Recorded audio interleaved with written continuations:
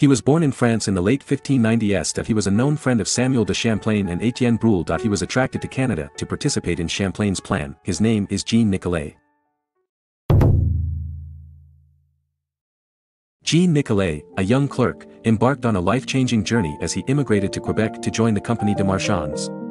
This trading monopoly owned by the French aristocracy presented a unique opportunity for Nicolet to train as an interpreter and expand his knowledge of the First Nations. Tasked with learning the indigenous language, Nicolet was sent to live among the Algonquins on Allumette Island, a friendly settlement situated along the Ottawa River for a trade route. Embracing the challenges of immersion, he absorbed their language, culture, and way of life. It was during this time that Nicolet began to develop a profound understanding of the First Nations customs and traditions. After spending time with the Algonquins, Nicolet returned to Quebec in 1620 and was assigned to live among the Odawa and Algonquin people in the Lake Nipissing region. Here, he established a store and engaged in trade with the native inhabitants. Through his interactions, Nicolet built strong relationships with the community, earning their trust and respect. During his nine-year stay in the region, Nicolet formed a deep connection with a Nipissing woman. Their bond resulted in the birth of their daughter, whom he named Euphrosyne Madeleine Nicolet. The blending of cultures and the birth of their child symbolized the intertwining of Nicolet's French roots with the indigenous heritage he had embraced. As fate would have it, on July 19, 1629, Quebec fell under the control of the Kirke brothers, who seized power on behalf of England. In the face of this dire situation, Jean Nicolet made a harrowing decision. Alongside his daughter Euphrosyne, he sought refuge in the safety of the Huron territory, far from the grasp of the English conquerors. From there, he actively worked against English interests and fought for the restoration of French rule. After years of turmoil and uncertainty, the French regained control of Canada, and Nicolet was finally able to return to Quebec. His journey had been arduous, but his commitment to the First Nations and their welfare never wavered. Upon his return, Nicolet married Marguerite Couillard, the daughter of esteemed Quebec settler Guillaume Couillard and the goddaughter of Champlain himself. Together, they established their home in Trois-Rivières, where they raised their family. Jean Nicolet's experience in Quebec was marked by his passionate pursuit of knowledge, his cultural immersion with the First Nations people, and his unwavering dedication to the French cause. His story is one of resilience, adaptation, and the blending of cultures, leaving an indelible mark on the history of Quebec and the relationships between the French and the indigenous communities. Jean Nicolet, a French explorer, embarked on a remarkable journey of exploration in the uncharted lands of Wisconsin. Inspired by the belief that he could find a direct passage to the Orient, Nicolet set his sights on the vast and mysterious Lake Michigan.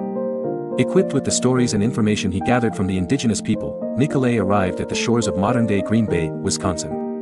With the hopes of a grand discovery in his heart, he made landfall at Red Banks, a region where the Ho-Chunk people resided.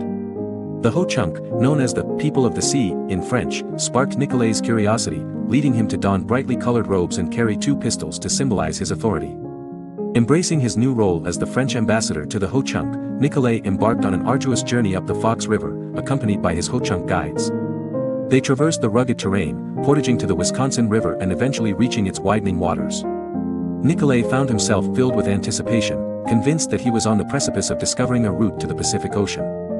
Utterly convinced of his proximity to the coveted South Sea, Nicolet made the fateful decision to turn back and return to Quebec to report his groundbreaking findings. Unbeknownst to him, he had come tantalizingly close to the upper reaches of the mighty Mississippi River, a discovery that would have altered the course of history. Nicolet's journey was not without its challenges. The harsh wilderness of Wisconsin tested his resilience and determination as he navigated unfamiliar waters and treacherous landscapes. However, he persevered, driven by a burning desire to unlock the secrets of the unknown. As he bid farewell to the Ho-Chunk people, Nicolet left an indelible mark on their history. His ritual display of authority through his attire and weapons left a lasting impression on the Ho-Chunk, opening the doors for further interactions between the French and Native American communities.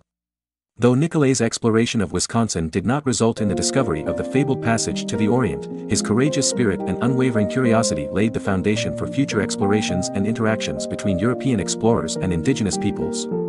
His inadvertent near miss of the upper Mississippi River was a testament to the untapped potential that lay just beyond the horizon.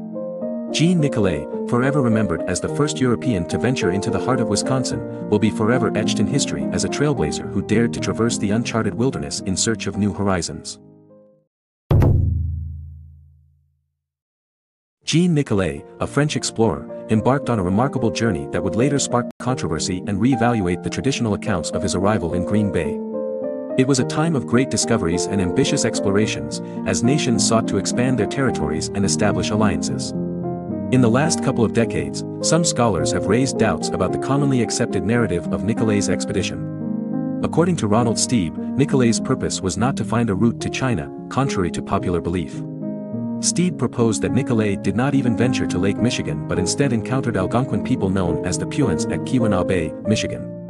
Nancy Oestreich Lurie, an esteemed researcher from the Milwaukee Public Museum, along with Patrick J. Jung, from the Milwaukee School of Engineering, further explored these claims.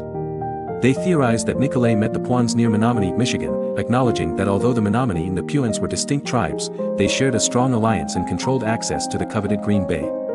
These researchers argued that Nicolet's primary mission was not solely to seek a passage to China but rather to establish peace between New France and the Puans. The alliance also aimed to counter the formidable Iroquois people, who posed a significant threat to both nations. This reinterpretation of Nicolet's journey has sparked heated debates and challenged historical assumptions. It has called into question the traditional depiction of Nicolet wearing a Chinese robe and meeting the Puans at Red Banks. The new narrative suggests a different sequence of events, where Nicolet's interactions with the Puans occurred in Menominee, Michigan, with the assistance of the Menominee people serving as interpreters during negotiations. While this controversy persists, it highlights the complexity of historical exploration and the importance of re-evaluating established narratives. The ongoing research and re-examination of primary sources have provided new insights into Jean Nicolet's mission and shed light on the alliances and peace-seeking efforts undertaken during this era. As the exploration of Nicolet's journey continues, historians strive to uncover the truth buried within time and unravel the intricacies of the early encounters between European explorers and indigenous nations.